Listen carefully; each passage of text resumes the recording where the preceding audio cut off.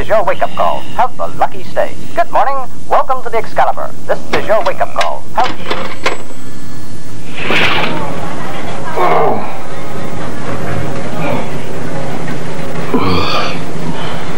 Oh, how very bright it is today. You'll gather from the decor that either, well, there's two possibilities. Either you're hallucinating, or I'm in Las Vegas. I am in Las Vegas. And I've got a rather sore head because drinking here is compulsory. It goes against my nature, of course. And uh, I spent rather a lot of money last night. It's all so different from that happy day when I touched down in Los Angeles.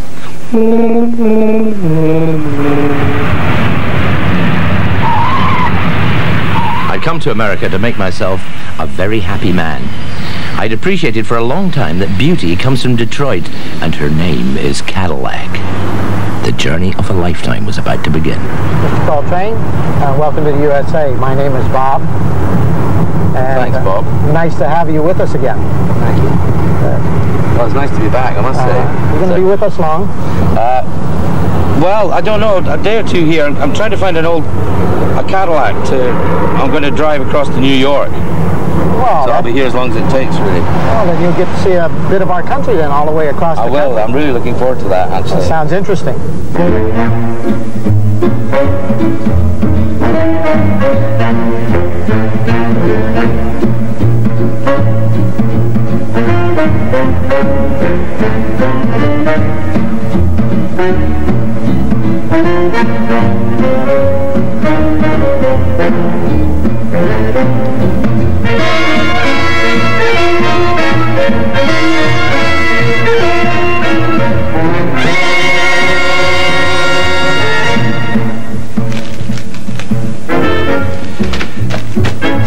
So meticulously tidy because I fold everything carefully. So anyway, there I was in Los Angeles. And I'm looking for the car of my dreams, basically, to drive across the States. And I say to people, where will I go for such a car? And they say, one place, Frank Careni. He's got a very nice place on the strip. You can't miss it. Every kind of Cadillac you ever saw in your life, Frank Careni. And he's a very nice person, and he will persuade you to buy anything he wants to. see. Is, is the engine rebuilt? Is it smooth? Is it? You know what? My watch makes more noise than that motor. See, this doesn't meet the Yeah, door well, there. we can adjust that. I mean, you, you, you're gonna remember now. The car is what, uh, 39 years old, Sure, 40 but- years old. See, when those have moved back, it usually means it's had a dent somewhere that No, shifted not it necessarily. Sometimes it's just the hood hood hinge because you know you open and close these hoods for all these years. You know you're gonna have a little uh, uh, spring there or something. You Yeah. know. Uh, I mean, come on, that's not a new car. I'll be honest with you, Frank. It needs an awful lot done to it. Um, I'll oversee the paint job for you. I'll help you out. I'll, I'll Yeah. see that it's done right. All we need is two, three weeks, four weeks. well, so what do you think? You want to buy it? Well, I'll tell you what I'll do, Frank. I we uh, I'll be honest with you. It's not exactly what I want, but if if I don't find exactly what I want elsewhere, and it, it probably is, isn't very likely, then I'll come back. Does that seem You've got to keep this in mind. A will lot, do. a lot of them Yeah. are rust buckets. You've got to get underneath. Of course. Even if you find the car's been reconditioned, you Oh, don't yeah. know what's going to happen a year from now. Well, You thanks very much, it. Frank. Thanks okay. for your time. Thank you. And Okay, uh, I may well see you again. Okay. God thank bless. you. Bye-bye. Bye-bye.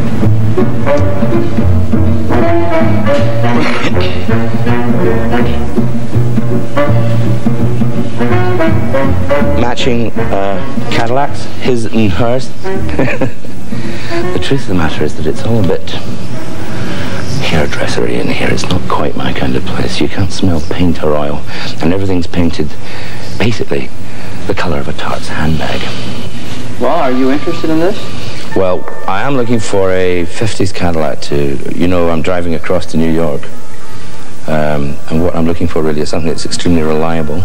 Oh, these would be. They're totally, totally gone through, just like buying a, a remanufactured car. I mean, engine, transmission, brakes, shocks. Uh, it's like buying a new car. It's a nice, oh yes, a nice little runabout. I can just see me going to the shops in Killearn in this one. You will be noticed. Uh, what, uh, so what, what is your asking price for this? Fifty thousand. 50? Oh God, that seems an awful lot of money. Well, you know, a suggestion I may make, you may consider financing because they do that on a classic car that doesn't depreciate. So that's something you should really consider. And then you are, are able to buy the car you want, the car you deserve. Let's make you a happy man. Well, Director's choice of case, by the way. Personally, I wouldn't be seen dead with a suitcase that looks like a waffle. But there you go. Well, still no luck. So then it was off to Ed Cholakian's. Great name that. Sounds like a guy who kind of eats bulldozers with his teeth, doesn't it?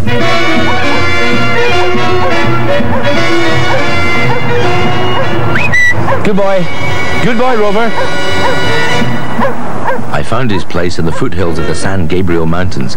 It was boiling out there, and it looked like a wasted trip as I meandered through what we cognoscenti call a junkyard.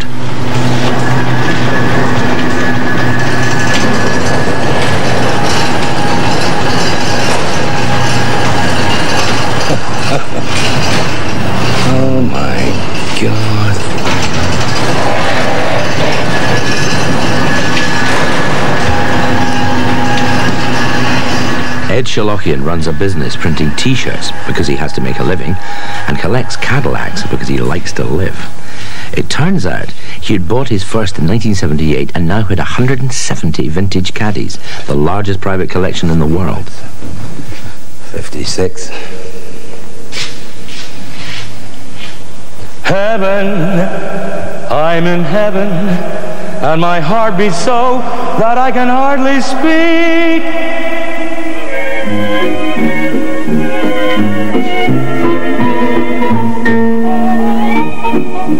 I'm looking for something where the, the, the hood comes, the roof comes down on really. Oh, you like a Make it easier. convertible? Yeah, I do. Everybody else likes a convertible too, and there's only so many convertibles to go around. Yeah, that's uh, true. Sounds to me like a price bump to me. Well, come on over here. Let me just show you a little bit of this car.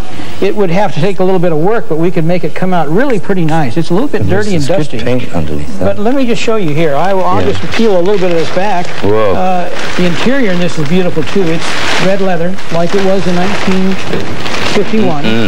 How's that look to you? That's beautiful. That's a Fleetwood interior, isn't it? Yes, that's a Fleetwood Yeah. interior, uh-huh.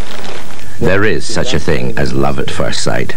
She did look a little grubby and sad, but a quick dicht and she'd be the most beautiful machine imaginable. New York. Well, obviously we were meant to be together, but I had to be cool. How much work's been actually done to it then? Well, uh, I would say uh, the majority of it has been done. There's a few things that need to be done. Well, I mean, if I said if I said we were going on Wednesday, would you say it'll be ready for Wednesday? I could have it ready by Wednesday, yes. And I mean, ready to drive to New York. Trust me, it'll be ready on Wednesday. I love the looks of you, the lure of you, the sweet of you, the pure of you, the eyes, the arms, the mouth of you, the east, west, north, and the south of you. I'd love to gain George, loved your picture. control of you and handle Louise, you were fabulous, fabulous. of you. So love at least a small percent of me do. Maureen, still wearing that dress. Get out of town.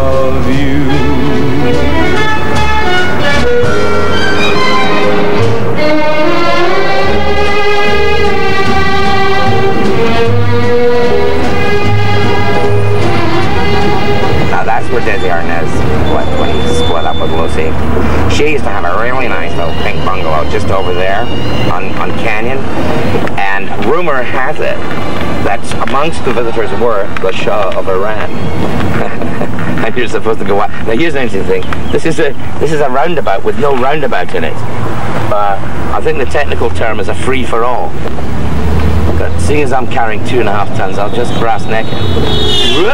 Whoa!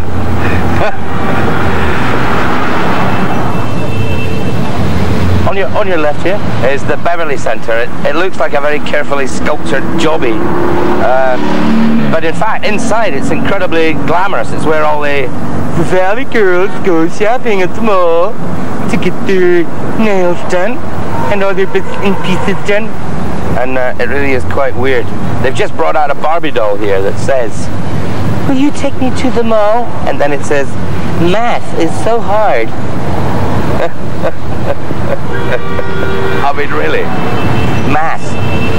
I don't get it. People often say to me, what's Los Angeles really like, Rob? They say, is it really all palm trees and pink flamingos and people in leather shorts and people saying, let's do lunch? Or is it, as a lot of people suspect, actually full of a lot of illegal immigrants working for next to nothing who are deeply discontented? And the answer is, of course, that it's both.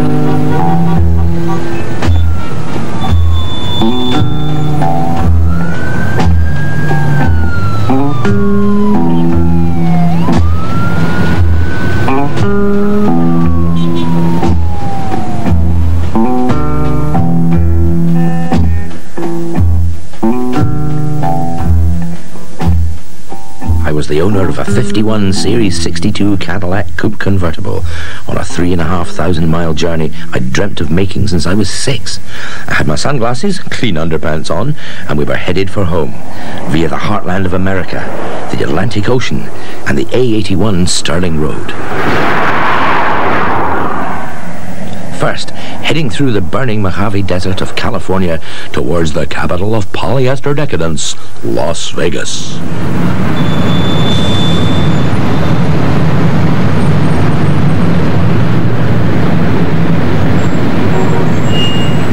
Modern Las Vegas was really created when Bugsy Siegel built the Flamingo Hotel in 46. Sadly, his employers did not let him live to witness the astonishing boom he triggered. Now, 22 million people come here every year and spend $10 billion in the pursuit of pleasure. Okay, sir? Yeah, that's right. I'm in uh, 6259. 6259, yes, sir. If you'll follow me, sir, I'll take you right there. Okay, right. Your first time to Las Vegas? It is indeed, yes. All right.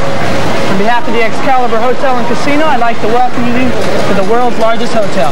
This is the biggest in the world. 4,032 rooms, Yeah, over uh, 3,000 slot machines, yeah. 100,000 square foot of casino area. So how many people? How many people can actually gamble here at one time then? Millions, sir. Millions. Almost about as many employees. We have 1.276 employees per room. So do, do you have to take the bags right through the, the gambling area to get to the rooms? Yes, sir. Do you think that's quite deliberate bit of psychology there? So So you'll spend all your money on it's the certainly working with me. I'm itching to have a wee shot.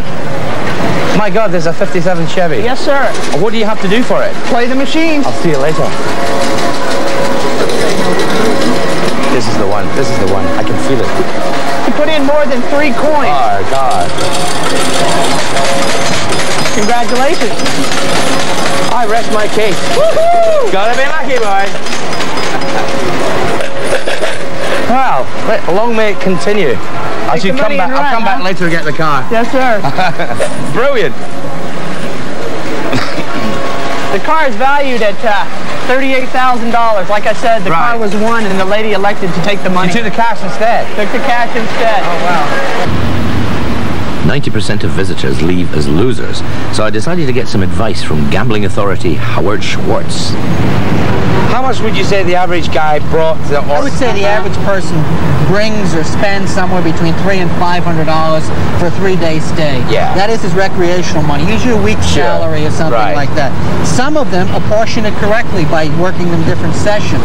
The Yeah. foolish betters blow it all the first night or the Do first they? few hours. Yeah. had one customer won eight hundred thousand dollars in a three-day period down at Binion's. The man is eighty-two years old. He took a social security check and Sure. ran it up to one night three hundred thousand, came back and won another five hundred thousand dollars. But within three days, he, pardon the expression, pissed it all the way back at the tables. Really? Because he's a craps degenerate. Craps degenerate. Craps degenerate. There are I people who've been waiting for these moments when the angel sits on your shoulder Yeah. to give you that moment that you wait for for 40 years of life. Yeah. And then you have to know when the angel leaves your shoulder or the little bird of luck Right. and quit. So um, you you studied all these methods. Do you gamble yourself? I bet sports a little bit. Yeah. I will play poker on occasion, and I will Yeah. bet major horse races only. I'm what Yeah. you call a true recreational gambler. Right. Because I know the control you have to maintain in this town. Yeah. It'd be like a diabetic working in a candy store. you must control yourself.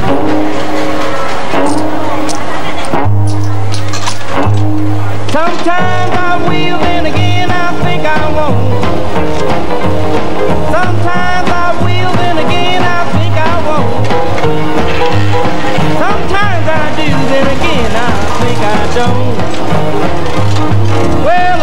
my watch and to my surprise, I was dancing with a woman that was twice my size. I was reeling and rocking.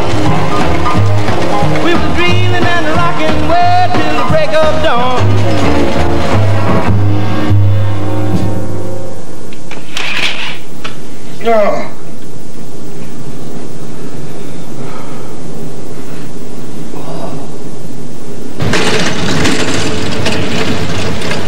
Thank you very much, sir. Well, thanks It's a for looking pleasure. after me. You God have a good day. Thank you. Drive safely, sir. Will do. Oh, did you miss me, darling? Are we going to behave today? Are we going to not clog our carburetor? No, we're not. Good girl. It's very embarrassing. I didn't have enough in my pocket to pay the guy a tip. He said, give me a tip. I said, don't take any wooden nickels. He didn't think it was at all funny. Burn, baby, burn. Another day, another state. Off back into the desert, our intrepid hero flies. Farewell, Lego Hotel. It's a curious thing about Vegas that it shimmers in the middle of all the darkness, just exactly the way you imagine a mirage would. And then during the day, it looks like Butlins after a hurricane. No, please, after you. I must say, I'm very glad I'm driving this. You'd feel an absolute arsehole in a Fiesta here. I was just thinking, this is exactly how Frank Sinatra would have arrived here in about 1951 with Ava Gardner by his side. Come fly with me. You know, it's all that. If you look over there, you can see the mountains. It's like a, a Klondike town. There's absolutely no reason for this place to be here. The only reason this place is here is because it occurred to someone that could make lots of money. And that's exactly what they did. Including mine, which I really resent.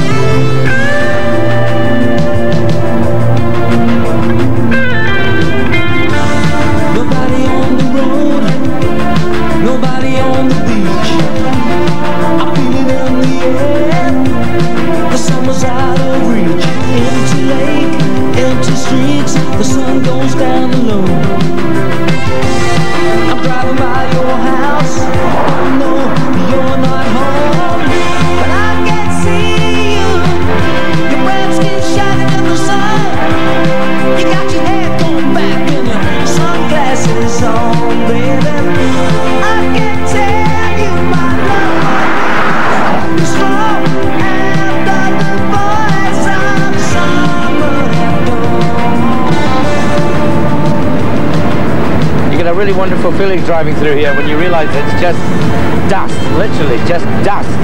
Nothing else for miles and miles and miles. And yet, there's abundance, an abundance of these Joshua trees, which are protected species here. Those little spiny things. It just makes you realize that the life force is uh, pretty well irresistible.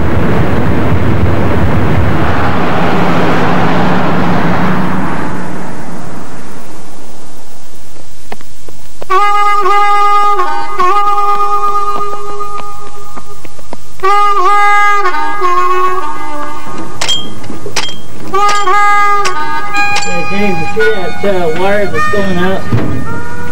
This wire right here, Dave? Back of the head. Right, You know, it's actually two wires coming down. right. Okay? Trace them out. Somewhere, wherever that goes, got a break in it.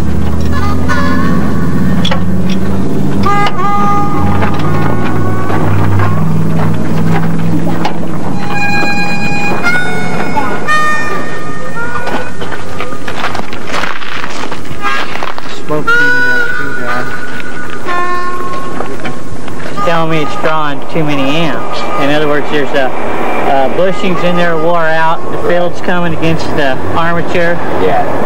and you got a problem.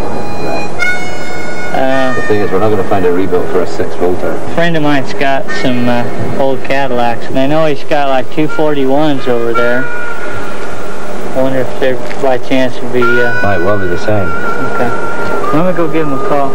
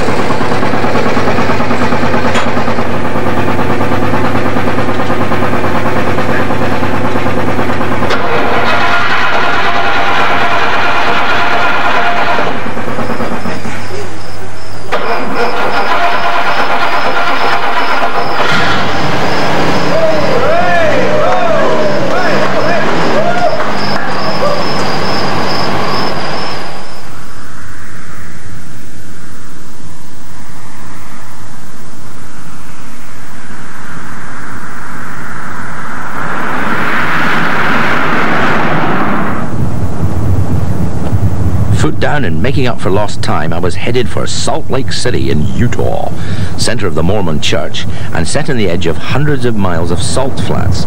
Not the kind of salt you put in your chips, by the way, because frankly, it's a bit whiffy. The only people who feel at home here now are the military who use the area for testing, and those wild and crazy racers who break land speed records in rocket-powered cars. It is extraordinary. In a place like this, you just you can see the covered wagons, and they came across here, clattering across in their wagons without any springs, maybe dragging a few cows behind them, which they would slaughter on the way to eat. And some people, believe it or not, actually stopped here. Can't really imagine it. A lot of English people, a lot of Scottish people came here.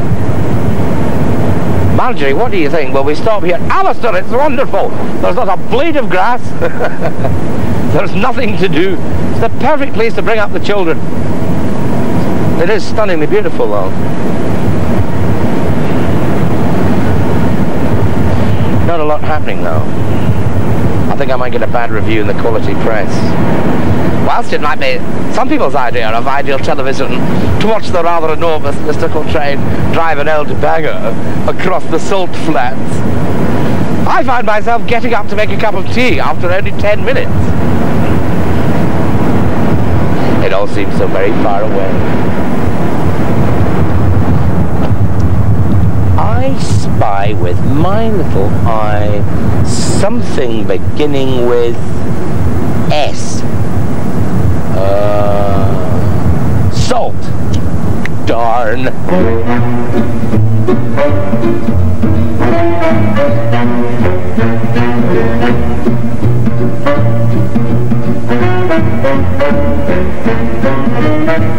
Next week on Coltrane in a Cadillac, I knock on the Mormon's door in Salt Lake City, and it's just another day in Dodge.